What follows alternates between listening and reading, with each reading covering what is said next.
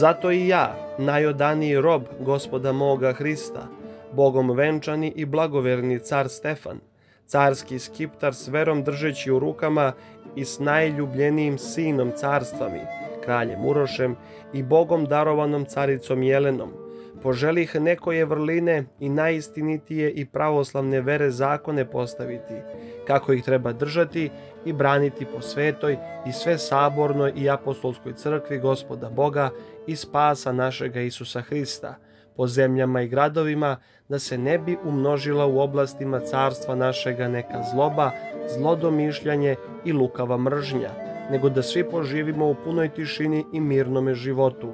Amin. Vladar najveće teritorije koju je ikada srpska država imala, vojskovođa i državnik koji je širio zemlju i doneo zakonik, veliki vitez za koga je psihijatar i psihoterapeut Aleksandar Misojčić zapisao. Kao svetlost komete proleteo je kroz istoriju, stavljajući za sobom sećanje koje u svakom poređenju sa nadolazećim vremenima više izgleda kao bajka nego kao život koji je zaista postojao. Dušan je održao reč datu onima koji su ga birali i za života mu verno i lojalno služili. Omogućio im je čast da žive u vremenu bajke jednog nacionalnog uspona koja će se teško ikad više ponoviti. O životu cara Dušana, njegovoj vladavini, zadužbinama i onome što je kao nasledđe ostavio svom sinu i pokoljenjima Srba, razgovarali smo sa doktorom Milošem Ivanovićem, višim naučnim saradnikom Istorijskog instituta u Beogradu. Ko je bio car Dušan? Car Stefan Dušan je svakako jedan od najznačajnijih, po mnogima i najznačajnijih srpski srednjovekovni vladar. Vladar svakako za čije je vladavine srpska država dostigla najveće prostranstvo, da tako kažemo može se reći neku vrstu e, najveće uređenosti, jer imamo dakle donošenje e, zakonika, dakle prevođenje grčkih pravnih spisa, dakle e, to je vreme jednog izrazitog uspona srpske države, dakle na svim poljima. Kada pokušavamo da tu ličnost cara Dušana predstavimo javnosti vekovima kasnije, svakako krećemo od 1308. godine i godine njegovog rođenja. Kako je tekao njegov životni put, odrastanje i vaspitanje? Dakle, Stefan Dušan je rođen kao najstariji sin svog oca, Stefana, kasnije poznatog kao kralja Stefana Dečanskog, naravno u vreme Dušanovog rođenja, koja se stavlja ili u 1308. po nekim istraživanjem možda i neku godinu kasnije, čak do 1312. ali svakako ono se dogodilo dok je njegov otac Stefan upravljao Zetom, dakle, dobio jednu oblastnu upravu kao, je tako, najstariji sin svog oca, kralja, kralja Milutina i upravo Dušan je, dakle, rođen iz tog braka e, Stefana, kasnije poznato dakle, kao Stefan Dečanski, e, bugarske princeze Teodore, čerke bugarskog cara Smilca. E, međutim, vrlo brzo se Dušanov život preokrenuo u toj nekoj radnoj mladosti koji gotovo, naravno, ne znamo ništa sem, naravno, delatnosti njegovog oca, upravo zato što je bio problem tog nasledđa prestola u vreme kralja Milutina, pošto Stefan e, je određen budući kralj Stefan Dečanski za naslednika na neki način, međutim to nije bilo sigurno. Milutin je tu lavirao i zbog svog braka sa Simonidom, odnosa sa Vizantijom i još važnije, naravno, odnosa sa e, njegovim bratom Dragutinom, koji je takođe polagao pravo da njegova grana nasledi presto. Sve te neke okolnosti su po svoj prilici uticale da Stefan e, izvede pobunu protiv oca negde početkom 1314. godine, međutim ona se pokazala kao neuspešna. E, otac ga je zarobio, to jest kako opisuje arh, arhijepiskop Danilo, on mu se predao, dakle, otac ga je, poj, kaže se po nekim savetima, oslepeo, dakle, i on je onda poslat u zatočeništvo u Carigrad, dakle u Konstantinopolj, dakle, gde je vladao Andronik II. paleolog, dakle, čijom je čerkom bio kralj Milutin oženjen u to vreme i tu Dušan sa svojim bratom Dušmanom, koji je tad bio još uvek u životu, provodi te neke rane formativne godine detinjstva, odrastanja i verovatno je da to ostavilo veliki utisak na njega, jer to je bilo nekih 6 do 7 godina, dakle sve negde od 1314. dakle do oko 1320. kada i zahvaljujući uh, nastojanjima Danila, budućeg arhijepiskopa Danila, Stefan otac Dušanov dobija dozvolu da se, da kažemo, vrati u Srbiju, u srpsku državu, dobija na upravu da živi u župi Budimlji. E, međutim, u stvari, ključan taj korak i za Dušanov život je ono što se dešava nakon smrti kralja Milutina 29. oktober 1321. Izbija borba za presto, Stefan objavljuje da je progledao, dakle, to njemu donosi nove pristalice, kako pre svega iz redova crkve, ali tako iz redova vlastele. On uspeva da porazi svog polubrata Konstantina, da se nametne kao kralj i biva krunisan, dakle, za kralja srpske države na bogojavljenje 1322. godine. Istovremeno, Dušan praktično tad biva krunisan za mladoga kralja. Dakle, i on već, eto, biva tako određen, designiran za naslednika prestola. I to je nešto, dakle, što se dešava kada Dušan ima, tako, nekih deseta godina svakako. Dakle, on, on ubrzo dobija, do 1326. svakako, on dobija on onda Zetu i te primorske oblasti na upravu, dakle, i on onda stupa na jednu uh, pozornicu, da kažemo, širu, a to će se naravno posebno dogoditi kroz nekoliko godina. Kada govorimo o životu kralja Stefana Dušana, odnosno kasnije cara Stefana Dušana, e, iz kojih istorijskih izvora najviše možemo da crpimo informacija i da e, rasvetlimo njegov život i u Carigradu i u Srbiji?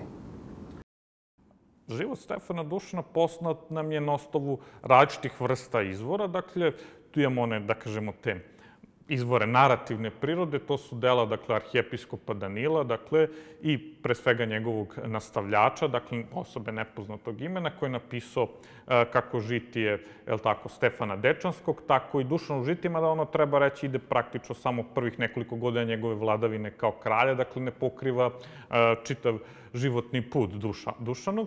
Naravno, s druge strane, od tih izvora koji daju neku kontinuiranu sliku, to su vizantijski pisci, Jovan Kantakuzin i Nićifor Grigora daju izuzetno važne podatke, prate de, e, delatnost ovaj, Stefana Dušana, dakle, e, pošto je naravno on se najviše sukubljavao s Vizantijom i osvajao na njen račun. I naravno opet tu su izvori, da kažemo, dokumentarne prirode koji su izuzetno značajni, to su pre svega povelje, dakle, dokumenta koje je izdavao kralj car Stefan Dušan, dakle, pre svega Svetogorski manastirima, ali i Dubrovčanima, dakle, i prepiska, dakle, s njima, dakle, onda, dakle, dokumenta u Venecijanskom arhivu, dakle, imamo i ugarske povelje koje svedoče o tom odnosu sa uh, srpskim severnim susedom. Dakle, naravno, onda imamo i crkve, manastire koji su podizani u vreme Stefana Dušana, gde naravno imamo kako likovne predstave, zahvaljujući čemu možemo da steknemo, jel tako, utisak i kako je, kako je on izgledao,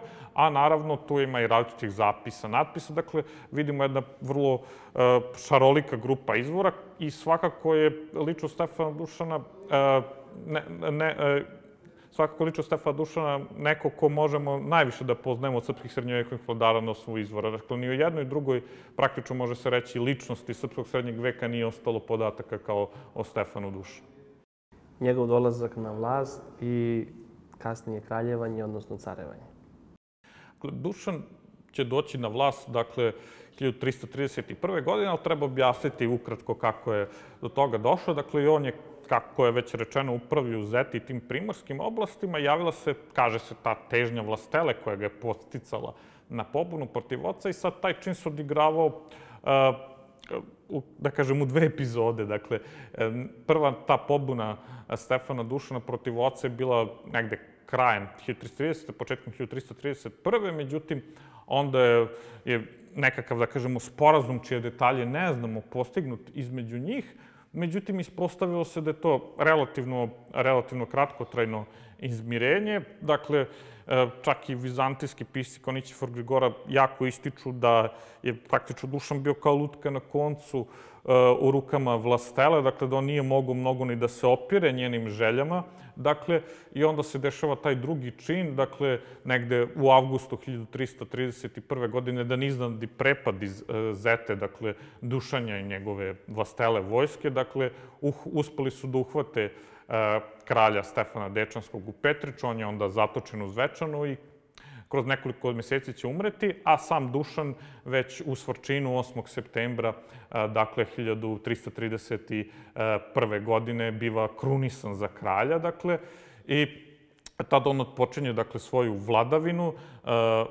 On, dakle, tada ima nekih 20 godina, relativno je mlad u punoj snazi, dakle, I naravno on još nije bio tada ni oženjen, naredne godine 1332. se e, ženi Jelenom, sestrom bugarskog cara Jovana Aleksandra, dakle, i već tih prvi godina on koristi situaciju, dakle, e, da napravi značajno osvajanje na račun Vizantije, smatra se negde već na početku vladanja 1331. Strumicu, zauzeo 1334. u pohodima uz pomoć vizantijskog e, jednog prebega Sirgijana je uspeo da zauzme Prilep i Ohrid, dakle značajne gradove. Izgleda da su tu bila još neka osvajanja, međutim, onda je Sirgijan nastradao, da ne idemo u previše detalja, on je sklopio sporazum 1334. u avgustu sa E, vizantijskim carem Andronikom III. o miru, dakle, deo oblasti koje je zauzeo je zadržao kao,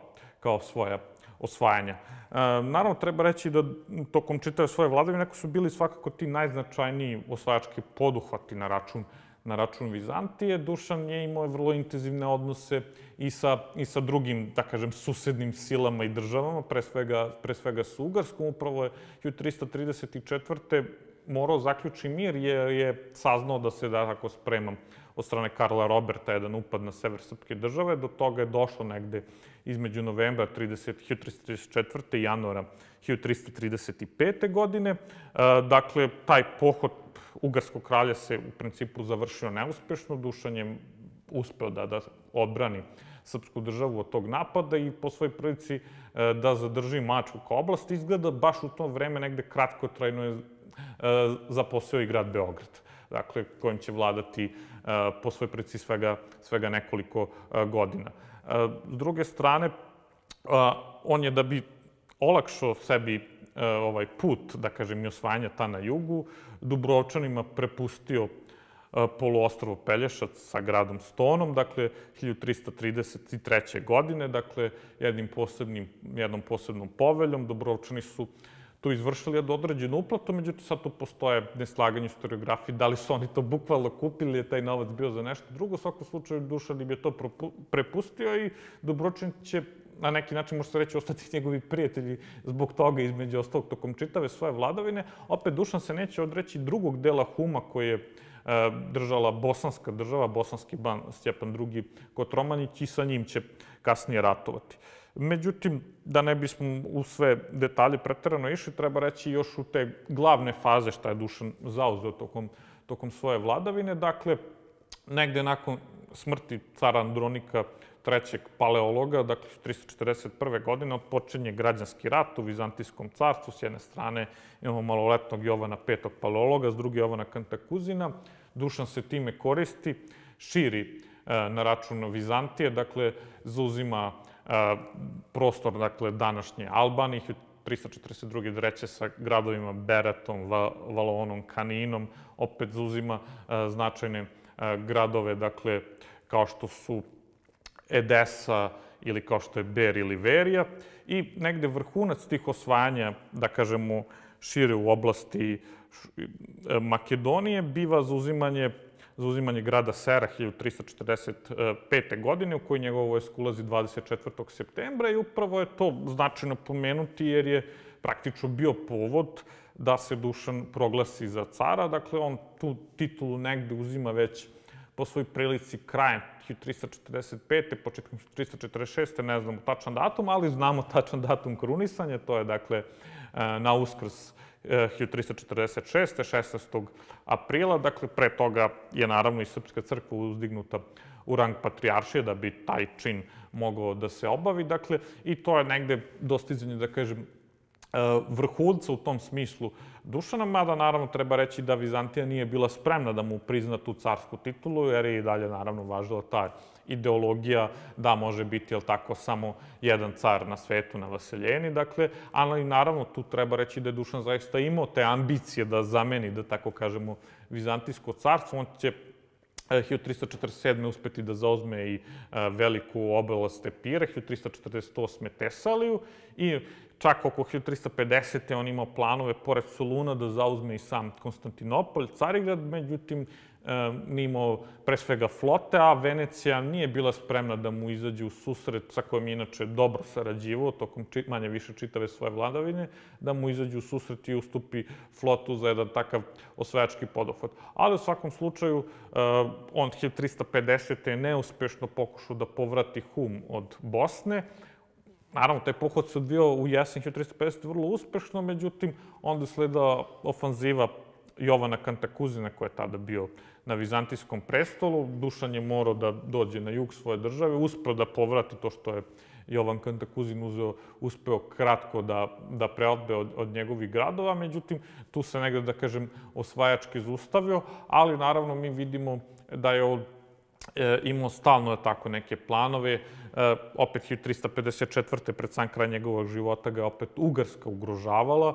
Zbog toga su bili ti pregovori e, sa papstvom oko eventualnog prelaska u rimokatoličanstvo, međutim, kako je ta opasnost otklonjena narednih 355. godine, od toga već e, nije bilo ništa. S Ugorskom je zaključio primirje i može se reći da je Dušan pre svoje smrti, koja sleda 20. decembra 1355. godine, zaista imao već veliko delo iza sebe, dakle, ogromnu državu, dakle, koja je uspešno se, dakle, suočavala sa izazovima svojih protivnika.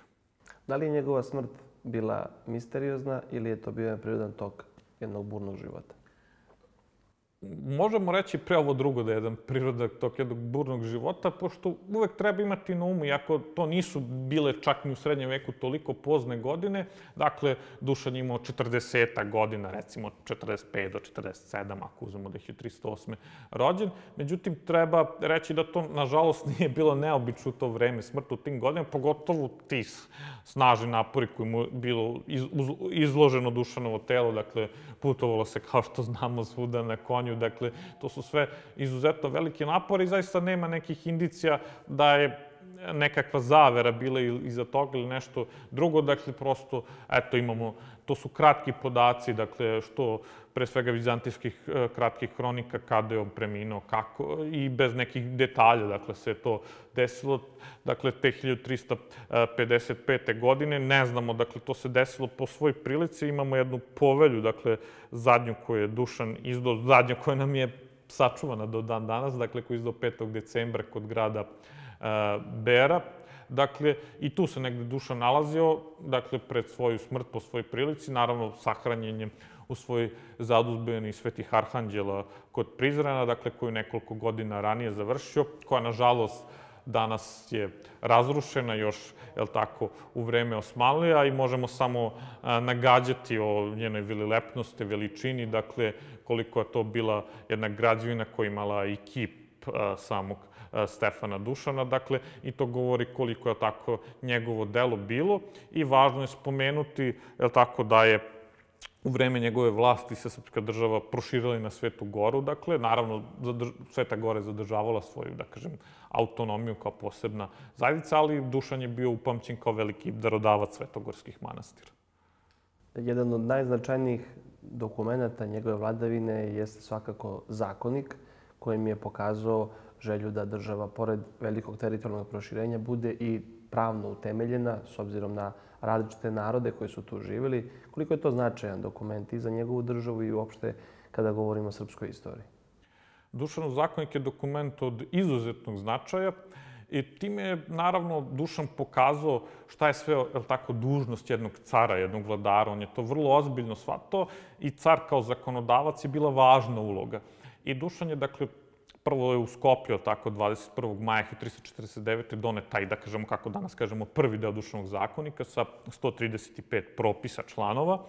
E, nekoliko godina kasnije, 353. četvrte je donet drugi deo sa još 66 propisa.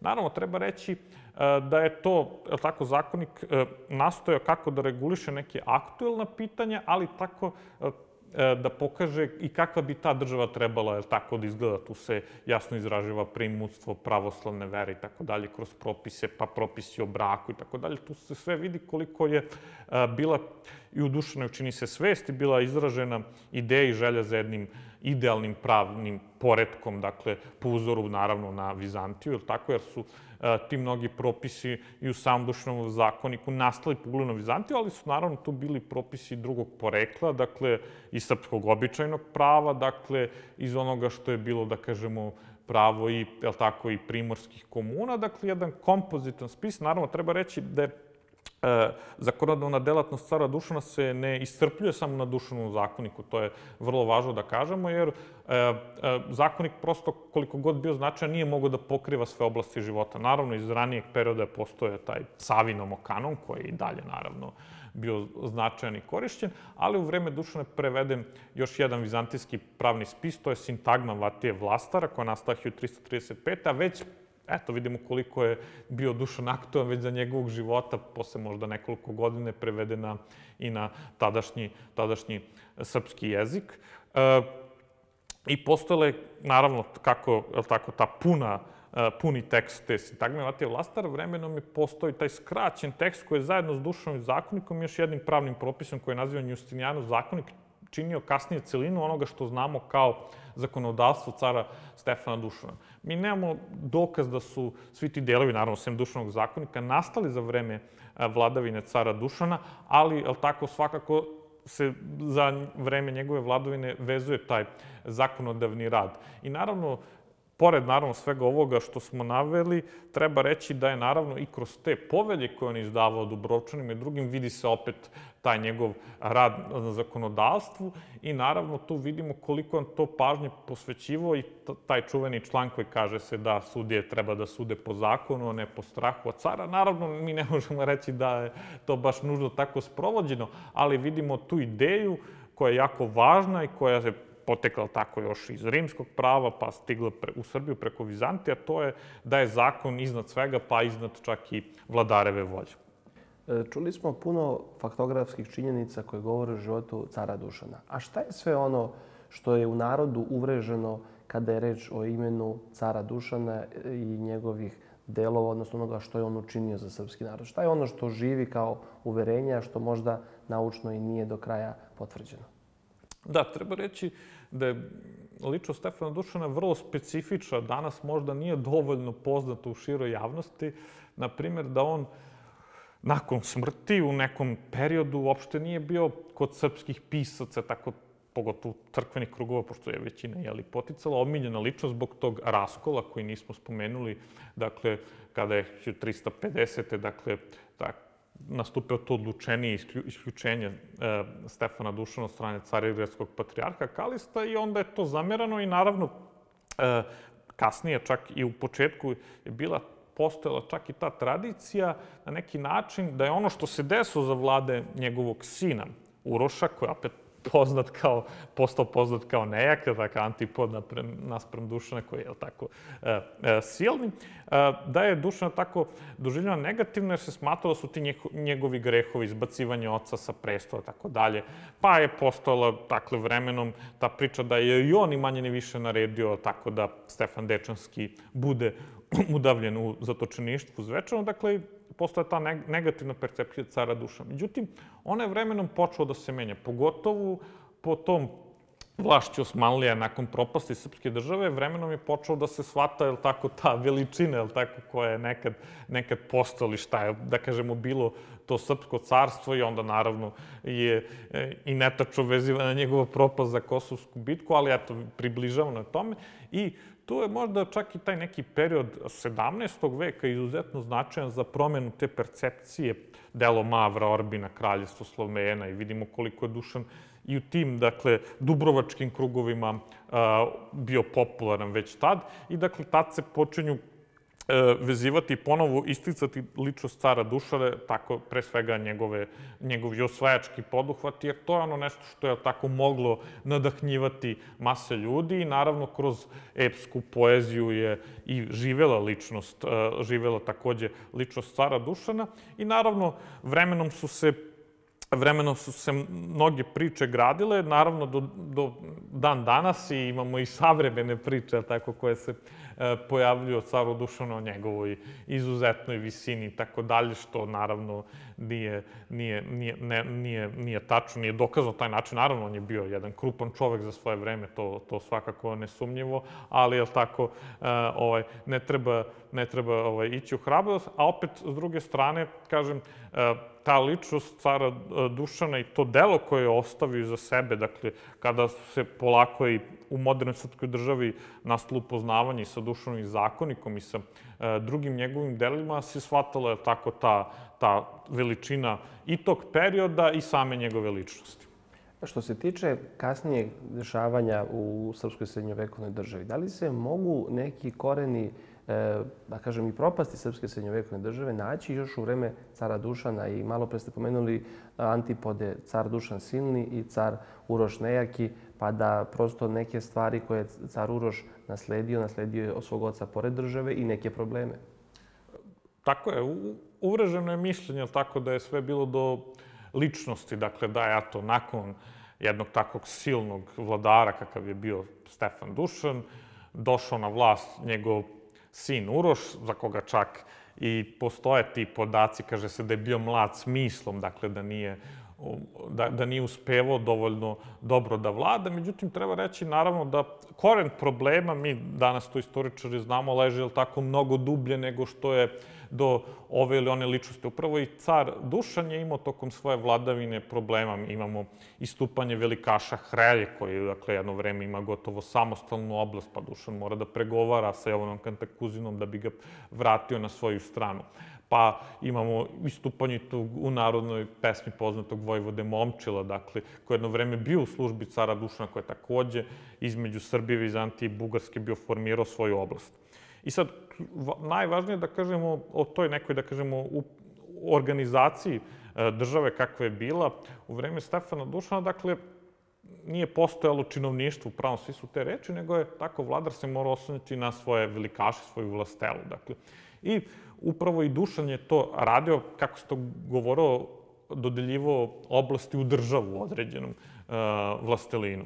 Dakle, to su bile tokom Dušanove vlade već prostrane oblasti. Dakle, imamo, dakle, Tesali u kojem je upravljao Kesar Preljub, dakle, on je dodeljivo te visoke titule, pa Despot Jovan Oliver imao oblast, pa onda njegov polubrat imao Siniša Paleolog Epir. Dakle, to su sve bile ogromne ob oblasti kojima su upravljali velikaši, pa Despot Jovan Komni Nasen, na prostoru današnje Albanije. Dakle, i već se može reći da je i pre Dušanove smrti i pre dolaska Uroša, je tako, na vlast, carstvo bilo izdeljeno i da su ti svi velikaši raspolagali pre svega ogromnom vojnom moći, ogromnom materijalnom snagom i da u stvari vladar taj bio koji je često morao da balansira. I zato se treba vratiti tim izrazima e, Nićifora Grigore o Dušanu koji mora da sledi vlastelu, da je da sluša koji nam koji u stvari ta osvajanja na neki način pokreće e, zbog njene želje da tako da stiče bogatstvo. Mi imamo te podatke u poveljama da je Dušan daje ogromne posjede. Opet Dušan kada osvoje ove vizantijske grčke oblasti. On mnogim vizantijskim velikašima tako plemstvu potvrđuje privilegije posjede, dakle, i vladar je morao tako da balansira opet postoje drugi način uprave putem tih, da kažemo, nečega što bismo mogli nazvati činovništvom kefalije, međutim, eh, koje je preuzet opet iz Vizantije, ali taj sistem nije mogao mnogo da se raširi za vreme Dušanove vladavine. Naravno, kroz sistem tih sudija koji su predviđeni e, zakonikom se nastojalo da se tako za tadašnje neko vreme postigne neka uslovnečeno uprava koja bi bila, e, a kažemo, centralizovana, imala svoje grane vlasti, međutim, to nije bilo potpunosti moguće. I svi ti problemi su, naravno, sačekali mladog Uroša kada je nakon smrti cara Dušana e, došao na vlast. Treba reći naravno da se i sve to nije odvijalo odmah prebrzo kako mi to često uh, mislimo, ali je tako posle nekoliko godina te uh, tendencije centrifugalne, rekli bismo, su se osetile i onda Uroš nije uspevao sa time da se izbore, ali kažem, treba reći da je tako koren dublji i da nije samo do sposobnosti ili nesposobnosti određenog vladara života pod osmanskom vlašću, vlašću Habsburgske monarhije ili nekim drugim teritorijima koje je naseljavao srpski narod, car Dušan bio jedan od likova istorije koji je nadahnjivao generacije koje su čeznule i maštale o jednoj srpskoj državi. Svakako Dušan će vremenom postati, dakle, u vreme osmanske vlasti. Dakle, mi nemamo tada toliko tih, da kažem, dela izvora, naravno, piše patrijarh Pajsi u 17. veku, ali upravo, kažemo, mi vidimo i kroz to što piše i Orbin, dakle, u 17. početkom, samom početkom 17. veka vidimo tu ideju o, ne, o, ne, o nekom, da kažemo, novom carstvu, tako da, naravno, to se vremenom sve veša sa tim idejama ili rizma i tako dalje, ali svakako tako Dušan postaje jedna ličnost koja, ali tako, koja, koja nadahnjuje i onda kada, ne znam, Jovan Rajić krajem 18. veka piše tu istoriju e, jednu od praktično prvih istorija srpskog naroda, dakle, on visoko uzdiže cara Dušana i on koristi taj epitet za njega silni i, dakle, ta ličnost svakako, el tako, dobija na svom značaju, jer, el tako, stoji na nekom pjedestalu, dakle, e, uspešnost, jer tako, knez Lazar jeste verovatno u tradiciji najznačajnija ličnost, međutim, on je najznačajniji po svom učeništvu, dakle, i po svom svetiteljstvu. A Dušan je opet jedan lik koji je dosta svetovan, dakle, nikad nije proglašen za svetitelja, dakle, ali opet nadahnjuje maštu ljudi. Hvala na razgovor. Hvala na pozivu.